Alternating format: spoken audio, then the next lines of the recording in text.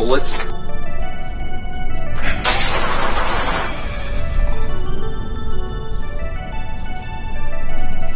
Well, I guess the only sensible thing to do now is lather my exposed flesh with some bacon grease. Yeah, that's happening.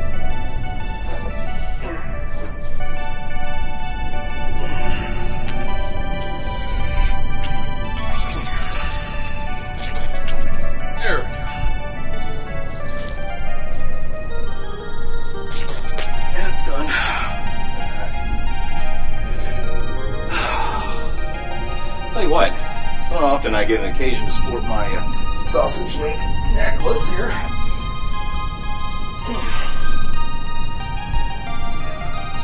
Don't make it weird. Very fashionable. And I uh, hope there are no zombies around. Because if I do say so myself, I am smelling delish.